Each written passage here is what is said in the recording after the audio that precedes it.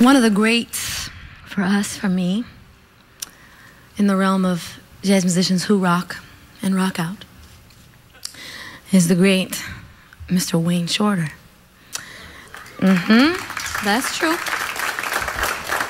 Yes, and this is one of his compositions that is not played very often, I think.